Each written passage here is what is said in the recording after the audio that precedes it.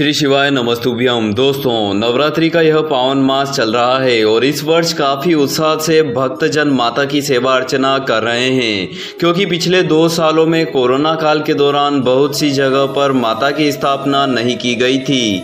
पर इस वर्ष हिंदू धर्म का यह महापर्व खूब हर्षोल्लास से मनाया जा रहा है। भक्तजन हरदम प्रयास कर रहे हैं माता को खुश करने का।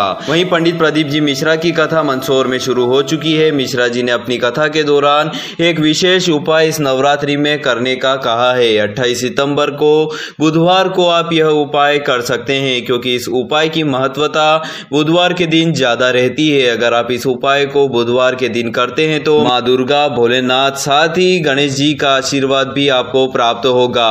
माता दुर्गा को खुश करने के लिए भक्तजन इन नौ दिनों में व्रत उपवास रखते हैं। साथ ही में बहुत से ऐसे उपाय करते हैं जिससे माता का आशीर्वाद उन्हें जल्द प्राप्त हो, अगर आप भी चाहते हैं कि आपकी भी परेशानियाँ दुख दूर हो, आप भी यह उपाय एक बार करके ज़रूर देखिएगा। शिव पुराण का नवरात्रि उपाय आइए जानते हैं।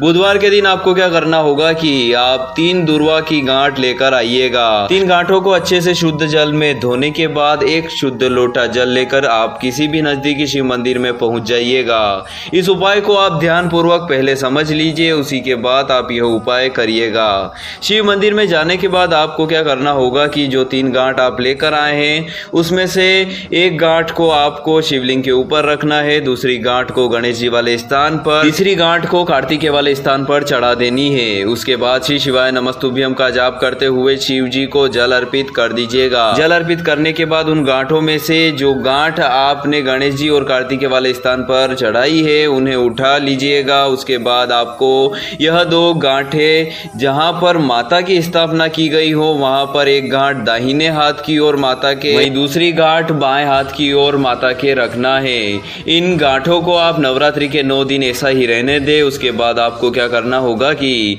इन गांठों को पूरी विधि विधान के साथ विसर्जित कर दीजिएगा। माता का खूब आशीर्वाद, साथ ही में महादेव की कृपा आपको प्राप्त होगी। गणेश जी आपके घर में खूब रिद्धि सिद्धि का वास रखेंगे। महादेव का पूरा परिवार इस उपाय से खुश हो जाएगा। जैसा कि हम सभी को पता है, माता पार्वती और सती माता का दूसरा रूप दुर्गा माता ही है। ऐसे में अगर महादेव के पूरे परिवार को खुश कर दिया जाए, वह भी नवरात्रि में तो बहुत ही शुभ होता है। मैं आशा करता हूँ इस उपाय से जुड़ी हुई सभी जानकारी विस्तार पूर्वक आप तक पहुँच चुकी होगी। फिर भी अगर आप इस उपाय से जुड़ी हुई और कुछ जानकारी प्राप्त करना चाहते हैं तो आप हमें कमेंट सेक्शन में कमेंट कर कर पूछ सकते हैं। मिलते हैं नए वीडियो में। बने रहिए चैनल के साथ। श्री शिवाय नमस्तुभ्यम हर हर महादेव।